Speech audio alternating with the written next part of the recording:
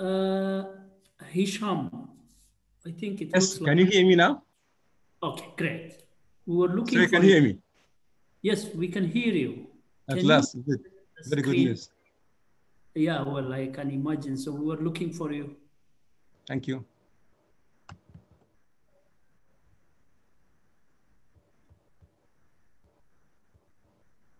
What about now? Can you see my screen? We can see you, yes. Uh, not your screen, but I can see Again? uh, your video, actually, your face. Okay. Let me try again. What about now? Perfect. Good, at last. Yes, uh, nice to see you again. Thank you okay, very so uh, welcome, welcome, Prof.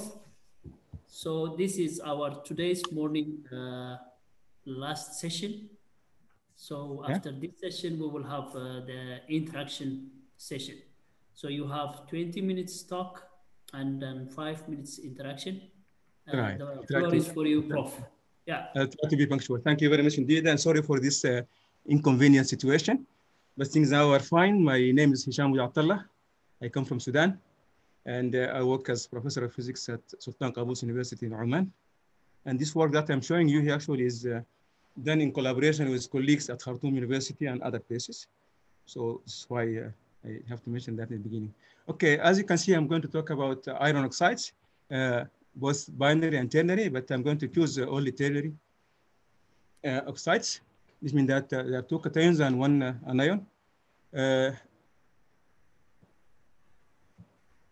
Ferrites actually, as you can see, they are having oxygen close pack structure, where the cations occupy interstices between the between the oxygen anions. This can be octahedral, tetrahedral sites, and uh, uh, this can be, for example, if I'm talking about ion in particular, it can be ion 2, ion 3, ion 4, and even ion 5. So all these oxidation states can be there. And uh, of course, uh, if there is another ion or a cation, also it can occupy uh, another site. Okay, so the sites now will be uh, occupied by both cations. Uh, the physical and chemical properties of this material, as with any other material, actually depends on the structure. And uh, these uh, properties can be modified by choosing certain dopant ions.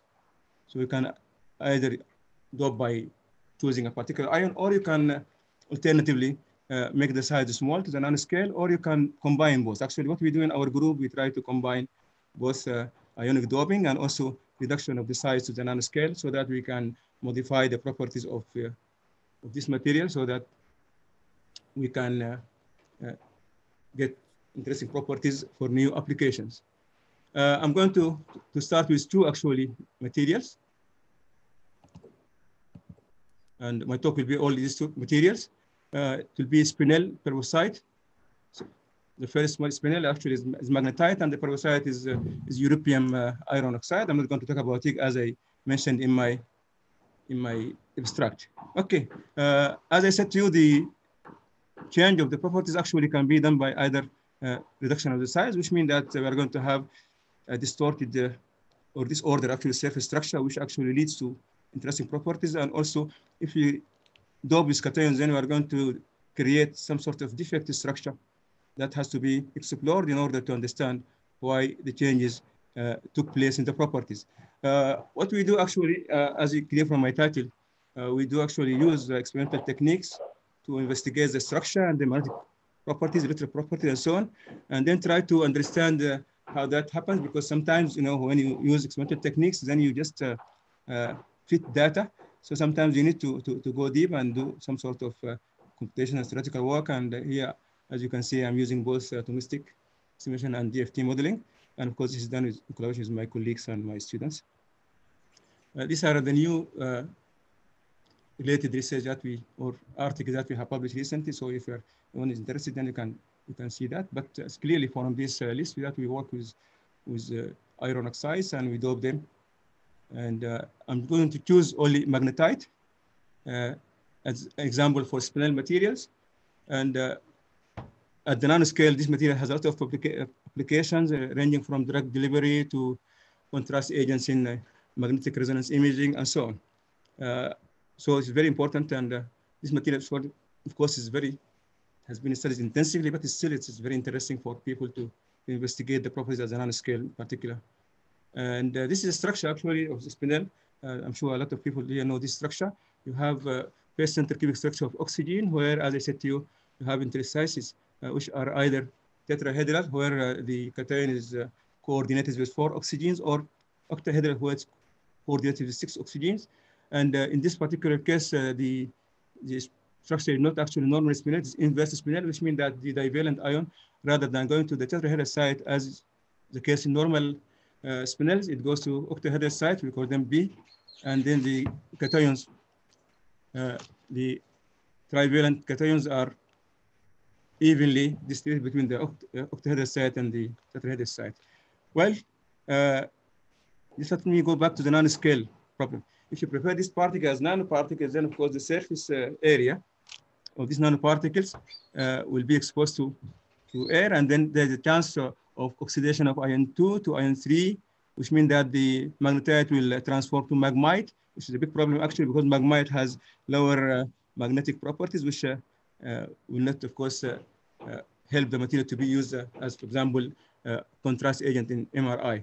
Well, maghemite itself, which had the same spinel structure, if it is heated, it will convert to to hematite. And uh, the other thing which I want also to, to mention uh, in terms of uh, the magnetic properties, okay, this material, as I said, uh, uh, has two magnetic sublattices, octahedral, where you have ion 2 and ion 3, as you can see here. Uh, ion 3 has FD5 electrons, and that Uh, 6D. And then there is some sort of electron hopping between the ions uh, in what is octahedral site, and then we have uh, the tetrahedral site, where you have the ion 3. And these two sublattices are anti-ferromagnetically coupled, leading to a ferromagnetic material whose uh, magnetization is given by what by the difference in the magnetization of each one of these sublattices. So clearly that if you introduce a cation, then the cation, of course, can either decrease or what or increase the magnetization depending on where it goes. So one of the things that we try to do is to understand the position occupied by the dopant cations. And uh, in particular, in this project, actually, we were using uh, divalent uh, cations like this one shown here, zinc or, or tin or manganese too. Uh, our approach is different from the approach that uh, has been done in the past because uh, people in the past either used to replace or substitute ion 2 by what by divalent ion or uh, replace ion 3 by what by uh, either divalent, sorry, tetravalent or trivalent ions. So here our approach is, is, is different and what we want to do actually we want to replace ion 3 by what by ion 2. So this means that we have to have three ion two for uh, for every sorry three uh, divalent ions for every two uh, ferric ions, and of course depending on where the divalent cation goes, then of course the properties can change. I'm going to talk about manganese doped magnetite, and clearly here x is equal to two thirds of what of of y because we need charge balance, and this is how charge balance is, is what is achieved. Uh, okay, I'm going to talk about the experiment that we have done, and also uh, I'm going to talk about uh, about uh, modeling that we have done to study the structure and the magnetic properties. Uh, these materials, I'm not going to talk about how they were synthesized, but they were synthesized as clear from here by, by the precipitation technique. And uh, clearly, this XRD show that depending on the, it, it, doesn't matter when uh, you, you dope, eventually you are getting the same structure. So we are sure now from this XRD that you have single phase uh, uh, compounds where the manganese does not change the structure. And also now we are happy that the lattice parameter has shown us that manganese is incorporating the structure because as you can see, it increases monotonically, monotonically. And this is a TM uh, results uh, shows that you have, uh, as you can see, we have nanoparticles uh, whose average size is just uh, around 15 nanometer. Uh, what I did after that, of course, we did structural characterization using Raman spectroscopy. And I just want you to look at the sample which has x equals zero, which is an undoped sample. clearly, the spectrum is different from, from that of the of the magnetite, which is clearly in the, in the other uh, samples. Here we have uh, peaks that are for hematite. We don't know where hematite comes from so far. But uh, the reason for that is actually, if you look at this peak around uh, between 700 and 800, this peak actually is for magmatite, maghemite. And as I said to you initially, uh, the surface uh, oxidation lead to what the formation of what of maghemite. So this is a big problem for repairing nanoparticles of, of I said, magnetite. And then what you see here actually, as uh, you dope the materials and uh, with increasing dopant uh, concentration, uh, clearly that that peak does not uh, uh, enhance itself as before. And as you can see, it diminishes. And when you reach x equal to 0.5, this means that high amount of doping, then there is no maghemite base. And now clearly I can go back and uh, look at uh, why I have hematite. As I said to you, uh, maghemite if you heat it, it becomes hematite. And clearly, because here we are doing Raman spectroscopy, we're using laser source. And of course, uh, when you uh, expose uh, the material to, to, laser, then the maghemite will transfer to, to hematite. So the important thing that you can see from this data is that at high concentration of manganese, there will be hindrance of what of the formation of maghemite. And you can say that the magnetite to maghemite transformation is what is hindered because of what because of this uh, this uh, insertion of manganese in the structure. This is the Mössbauer data. I'm not going to do, go in details, but uh, the conclusion from this data, because in most part you can uh, you can uh, of course uh, look at the parameters and you can know which parameters go for magnetite and which for maghemite and so on. So our results actually for Mössbauer show that for the pure material, which is undoped, then we have 70 to 30 ratio of what of magnetite to maghemite. It means that 30% of our materials are transferred to transferred to uh, uh, maghemite.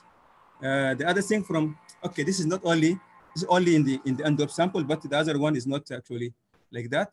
So clearly for the sample with uh, with uh, x equal 0.5, there was no any uh, transformation, and all these peaks could be attributed to what to magnetite. Uh, the other thing is that uh, because the Mössbauer, this is actually ion Mössbauer spectroscopy, uh, which tells you the amount of ion in both sides, A and B side. And we found that for the magnesium doped magnetite, the ratio, okay, the, the spectrum or the subspectrum for what for the A side decreases, which we conclude from it that iron the tetrahedral side will be what will be replaced by what by, by manganese 2. Uh, the other thing that the hyperfine parameters uh, isomer shift, quadrupole splitting, and hyperfine magnetic field uh, all uh, decrease because of this MN doping. So I just go, and this is uh, what I said before. Now, what we done after that, what we have done after that, we tried to use X-ray Rietveld refinement. And as you can see from this Rietveld refinement, uh, you have two phases. You have maghemite and magnetite, and uh, the XRD shows you that the ratio is almost similar to that one uh, extracted from the Mössbauer data, which actually is another proof that mag maghemite is, is, always there whenever you have uh, endomagnetite. And this is the structure which shows you the, the, the, substitution. I'm not going to talk about this, but actually this high resolution transcription microscopy gives you information about whether you have maghemite or not, because you can find the interplane spacing and compare that to, to maghemite. Uh, XPS uh, also has shown us uh, when you have uh, the pure material, there is no, uh, if you look at the red curve, actually red uh, subspectrum here is, is for ion 2. So ion 2 is very few actually in what in the surface of what of the pure sample, which means that there has been oxidation for what for ion 2 uh, to maghemite. But as you can see, with increasing manganese uh, content, uh, then uh, the component for what for ion 2 uh, becomes enlarged. And clearly at, at, the end, this is what you expect. I mean, it should be one to two actually with the, the ferric ions. Okay, now this is the interesting part we have done the Rietveld refinement for what for the sample, which is uh, dope is 0.5 uh, mn. And there, as you can see, we have only one phase, which is a magnetite phase, which is doped. But what is important here is that, as you can see, uh, the Rietveld refinement shows you where the manganese ion go. Clearly, they go to the tetrahedral site where they have uh, bonded to four, four oxygens. And as you can see here, 3 mn go to tetrahedral site, and uh, one of the iron tetrahedral will be what will be uh, expelled, uh, well, expelled to what to, to an interstitial site. So this is a very interesting defect structure.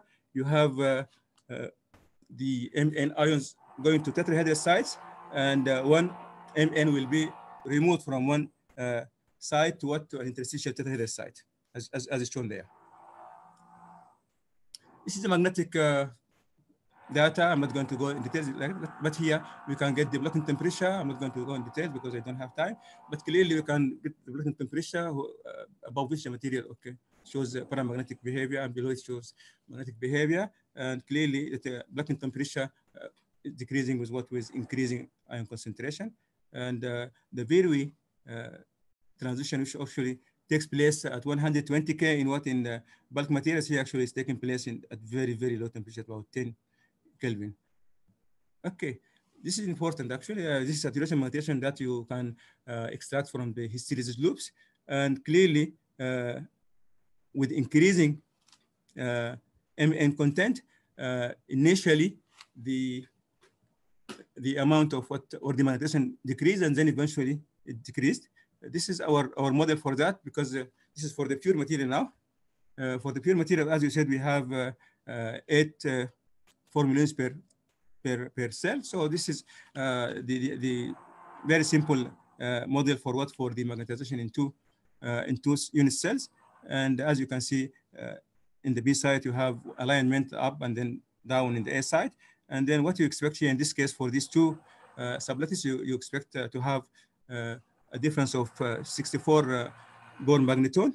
Now, if you go to, to the model that we extracted from what from the uh, and XRD, as you can see here, we said the three uh, manganese ion will replace what we replace iron three at what tetrahedral size. So this is just, it, by the way, they have the same spin. So five Bohr magneton for this. And then the additional one, now we put it also in the tetrahedral side. And uh, because now the difference uh, will be less, uh, this is what you get here. And that actually is, is consistent with what with the with that the magnetization decreases initially. Uh, after a while, of course, uh, you are going to have more manganese, and then when you have more manganese in the tetrahedral site, you expect uh, a complex interaction with what with the ion 3 uh, dipole moments. And in that case, one expect to have some sort of canting behavior, which makes uh, the difference uh, now larger because that canting can what can decrease the contribution of what of the A-site magnetization. Well, this is what we got, and the, the, behavior that you see, the, the, line is what we expect from what from the XRD or the the, the Mössbauer defect model, but this is actually uh, if you if you introduce the canting, then you get you get this uh, behavior. Okay, after that, what we did, we tried to, to use atomistic simulation just to check whether this uh, fitting uh, distribution of the cations is right or not. We, Prof, you have five minutes. Okay, I'll try to, to finish it within just five minutes, inshallah. Okay, so what you have see here, what you, what you see here is that uh, we have uh, uh used uh, the GULP model where uh, the model for the for the optimization of this crystal is just a Buckingham model where you have the Coulomb part and then you have this uh, uh, two terms for the Pauli term and the short uh, uh interaction term. And these are the different, different models that we tried. So these are different scenarios that you assume that uh, the defect can go to this side or that side. And then eventually, as you can see, we had here uh, got two defect model with, with the lowest possible energy. In the first one, the one to, to the right, as you can see here, you have uh, three manganese go to tetrahedral site as we found uh, uh, in the experiment. And also here you have Mn goes to, to tetrahedral site interstitial. But the other one, which is uh, uh, also shown here uh, in brown, as you can see there, the the energy is slightly less than that, but actually this looks like the one that we have got experimentally. So what we did, we tried to just check this by by doing a DFT uh, modeling. And as you can see uh, here, we have changed the supercell from cubic because uh, this calculation is done at low temperature. And because of that, of course, the, the low temperature structure is, is mono, monoclinic. So we took the same models and put them here and just try to see which one is consistent with what we get. This is for the pure material, as you can see uh, on the on the light. You have the density of states where you you have uh, just above the Fermi, just right to the Fermi uh, level, you have a gap which is consistent with what we got from experiments. And also the hyperfine par parameters that we did measure from the Mössbauer are consistent with what you have here. And now let us see which model actually is, is, is better than the other. Okay, I just have to skip this part.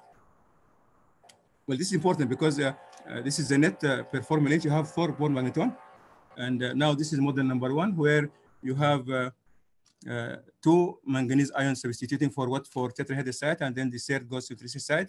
This gives you, uh, as you can see, what's important here that now the the bond energy gets smaller, and uh, I just show you this uh, spark. Now the magnetization actually increases, which is actually not uh, what we found uh, there. The hyperfine parameters are consistent with the, the, the measurement, and then we go for the other model where we found that uh, three uh, Mn substitute uh, the tetrahedral sites, and then one iron will be expelled, expelled to what to tetrahedral site. And here, as you can see, very interesting properties. Uh, the, the, material becomes half metallic, as you can see, and uh, the hyperfine parameters also show the same trend. And what is important for us now is that uh, the net magnetism decreases here. And because of that, we assume that this is the, the, the, the most appropriate what model for the defect structure. So in, in short, uh, uh, our work has shown that higher dopant concentration progressively suppress uh, magnetite to maghemite transformation, which is something important for industry. The best defect structure uh, for this material is that when uh, uh, Mn substitute exclusively for iron at tetrahedral sites associated with what with expulsion of one ion, ferric ion to what to interstitial site, tetrahedral site, the magnetization uh, decreases uh, with Mn concentration up to this value and then increases. And then this was uh, explained in terms of canting.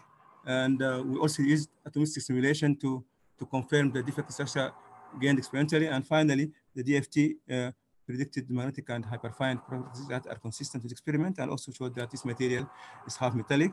And uh, actually I was trying to say this one, but I will leave it uh, for people just to read it. And I should thank everyone for, uh, for being patient with me. And uh, the last thing actually is just to thank my, my group and my colleagues and thank you very much indeed.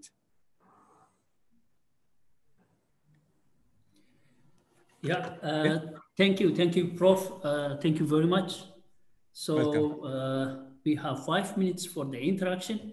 Let me start with one question on, uh, on the chat room. Uh, I'll read it. So from the DFT calculations, why you yes. use why you use it small supercell? That's a good question because, uh, well, uh, it, because just to do with our computational, you know, facilities here, we cannot go for for big ones, but uh, it will be interesting to go for a big one. You are right. Do you have any any suggestion? I mean, I mean, why uh, you are asking this question? Uh, aren't you happy with these uh, findings, for example, or or what? Musa Hussein, you can actually unmute yourself and ask the question. Pardon? No, I'm, I'm actually I'm uh, asking uh, for the person who was asking. Uh -huh, okay. To, to, unmute and continue the interaction. Musa. Yes. Hussein. In the meantime, we can uh, we can uh, I think I have problem with hearing you again. That same. Problem, yeah. But, so, uh, as, uh, Azima, you can continue with the with your question. Yeah. So uh, my question is still on the uh, supercell. Yes. One, one is uh, actually small in size. Uh, so I don't know. So what was your vacuum size in this uh, calculation? What was? Uh, I'm sorry, I cannot hear you. Can you just say the question again because so, I have problems. I apparently you had a one by one supercell. Yes. Yeah. No, so it was it, no, it, it was one one by one by two actually. Yeah. So well, are you looking at? Um, Can I what? Usually, when you have a supercell, you are looking at the uh, maybe uh, something in one two directions and then uh, keeping the other one fixed. So, what was the plane that you used? Did you use uh, zero zero one or 110 plane or what? Sorry, I have, I have a problem actually. I have a problem to, to hear your question I, because I, I, think you can see there is some problem here, some, some noise. Yeah, yeah I understand. But then, yeah, with uh, supercell calculations, one by one is actually small for uh, a calculation. So that's that might not translate uh, what you actually uh, hope to achieve because there are several things. The, the, supercell is not big enough and you can have quantum confinement problems with uh, such supercells. So yeah. Mm -hmm. Mm -hmm. So maybe you can consider using a bigger supercell and then well, see, we try. Yes, we try. Yeah, I, I, and got, I, compare- I got, I got your point. Yes. yeah, and yes. compare with of the that, one. I mean, we are using uh, uh, limited, you know, computational facilities, yeah. and uh, we have to go for a bit better one. Yeah. Yes, you're right. So if you do that, you see that uh, there'll be a lot of variations because uh, one by one is actually very small, in my opinion. So Yeah, it makes sense to me. Yes, thank you. thank you. Okay, thank you. Uh, Stefan? Yeah, I have a question. I think uh, Azima almost said part of it because I was uh, quite uh, curious about the size of the supercell. Can you put your video, please? Yes, I did. Can, can you just raise your voice? I have a problem actually in hearing. Actually, My video is on, I think. Ah, so you are Stefan. Okay, fine. Uh, I was expecting Musa. That's why I was asking for his video. Uh, please go ahead, Stefan. Okay, quickly. So it was about the, the impact of this uh, supercell size that you used uh, on the, um, the Mhm. on the properties that are revealed by the defects. Because um, as Asima is pointing out, I think that uh, there should be a, a, a relation to that. And then I want to ask to quit. Are you planning to work on other spinel structures like cobalt, cobalt oxide or cobalt ferrite? well, well, we, we are actually now working on on YIG and uh, hexaferrite actually. Okay. Yeah, but but it, it will be interesting to work on the other ones. But uh, since my PhD students now are working on hexaferrite, I just uh, prefer now to con to concentrate on that. But it will be interesting to to see the other ones. Yeah, yeah. But I'm not sure if uh, there is no enough work on that, yeah? because what is interesting about magnetite is that I mean it can be used, you know, in medical industry, and this is actually one of our interesting things because it is non-toxic and so on. But uh, we have to find a justification so that we, we can work on that. For us, magnetite is something very useful to study because it has lots of application, particularly uh, if you want to use it as in drug delivery and so on, then it is very useful, not toxic but I'm not sure about this one that have cobalt. I'm not sure. Mm. But uh, it, it, it, it worth trying anyhow. Okay, so I will uh, thank you very much. So I will ask all the presenters today's morning presenters to open the camera for uh, actually for the discussion